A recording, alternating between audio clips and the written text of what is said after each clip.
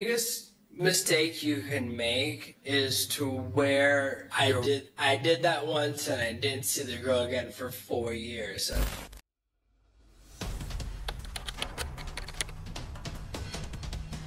So there's a fashion mistake that men are making. What is the one fashion mistake that guarantees you will not see her again?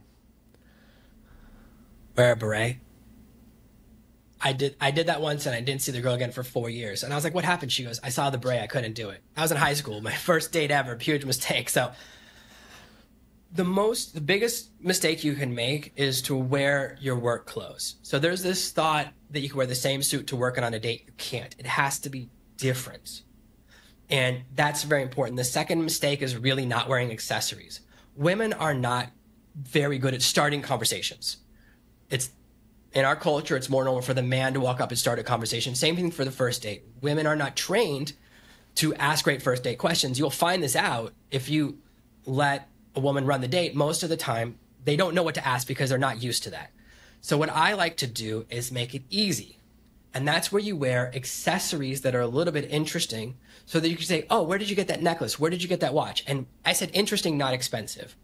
I used to buy all my accessories off Etsy. Now I know there's a lot of big companies that sell stuff in there, but I like something homemade that's one of a kind that's interesting so that there's a story. So everything you're wearing should be the start of a story to make conversation easy. And sometimes you'll be with a great conversationalist and she doesn't have to rely on it. But I've had situations where a woman liked me in a bar, wanted to walk up to me. and She goes, Oh, I love your bracelet. It's not really why she walked over, right? But it makes it easier. And mm-hmm. that's my job to make the conversation as easy as possible for her so she's never feeling uncomfortable. So I would only wear one large showpiece. So you don't want to have like a giant necklace and a giant cowboy belt buckle. So only one of your things should be the main accessory.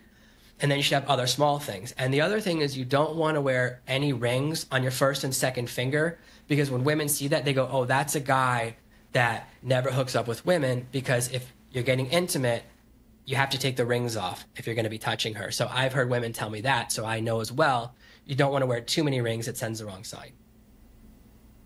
So the one fashion mistake that guarantees you'll never see her again is wearing your work clothes on a date, right? So you should bring some play clothes with you if you're going to go directly from work to the date. I would make a small change. I'll give you an example. So at work, you wear there's a very specific tie width. Every one of us can look at a tie and go, "That's too wide or that's too skinny," right? right. We know the width of a work tie. Switch. That's all you have to do is like switch that out and you're wearing a skinny tie. Like I only own super skinny ties because I only wear date ties. That's a really easy way to do it. Um, I would change so it's your the shoe. opposite. In other words, it's the opposite of the work ties. What you're saying? It's kind of like yes. That's the point. Like if you wear regular shoes, you'd wear different shoes just because it's the opposite. Yes, you want to wear leather shoes that are not sneakers, but that you could not wear to work. That's the rules for like great date shoes. So anything that you go, that's not a work shoe, whether it's a work boot or whatever shoe you wear to the office, if you're a lawyer, it doesn't matter. That shoe you can't wear on a date. Women look at shoes more than you could possibly imagine. If you look at every women's magazine, every single time they show a picture of a celebrity, it includes the feet. If you look at a men's magazine, it never shows the feet. Right? what about like pimpy shoes, like real, you know, gear? I used to have shoes like that. What about those? You know, weird, so good, loud. That's good. Yes. So any type of shoe that you're, if you look at a shoe and go, that's ridiculous. So there's a couple of types. There's the really long shoe with a pointy toe that's like a met, shiny metal point. Those yeah. do really well. Like an, a shoe that almost curls back like an elf shoe. Those do really well. I don't know why. I used to wear a pair of boots that had a dragon imprint on the bottom. So when I would leave a footprint, it would be a dragon. It wouldn't always happen. It was like, but sometimes.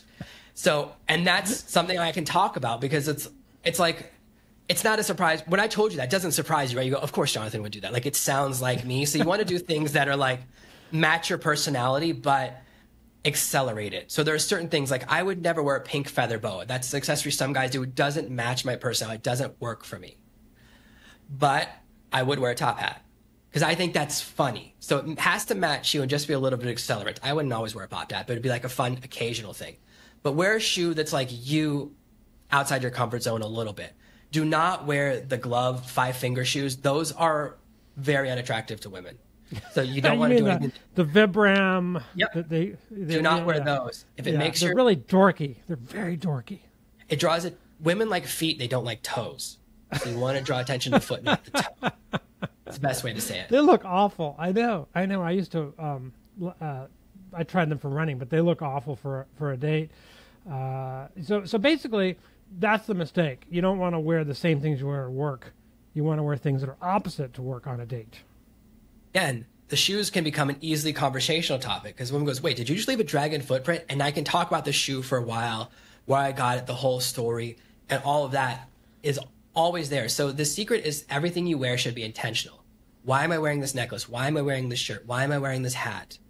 Because women put a huge amount of effort. Like if you have any sisters and you know, sometimes before a date, a woman will spend one or two hours getting ready. If you spent five minutes getting ready, what it says to her is like, oh, he doesn't care about me. He doesn't, I put in all this effort. He didn't put in matching effort. Right. So you want to demonstrate that you put in effort, that you care about things. And that will be much more attractive. Oh, he really cares about presenting himself because that's important. She thinks, well, what happens if he dresses like that when he meet my friends or meets my family? Those things all go through her mind. So a little bit of extra effort can go a long way.